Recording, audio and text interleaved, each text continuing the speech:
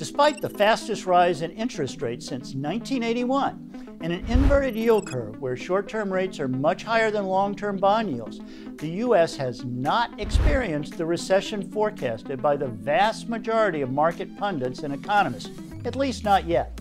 Why not?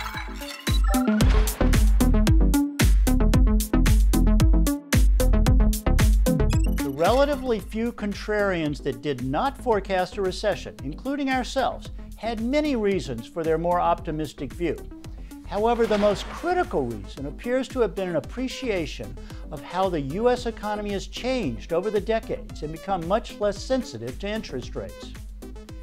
In the 1950s, 60s, and 70s, the U.S. economy was driven by housing and manufacturing.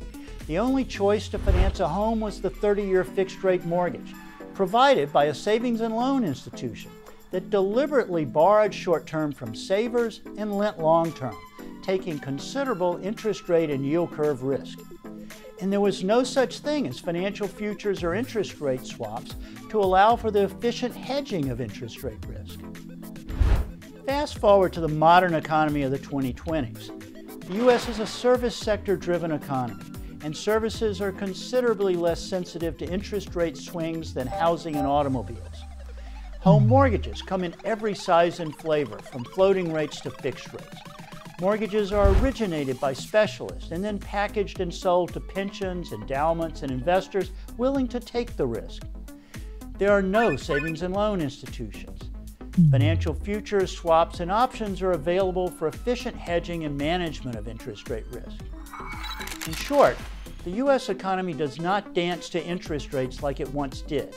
Make no mistake, though, interest rate shifts have a profound impact on asset values, from equities to bonds to housing. It is just that the impact on the real economy is much more subdued than it once was, and a rise in rates does not automatically mean a recession is around the corner.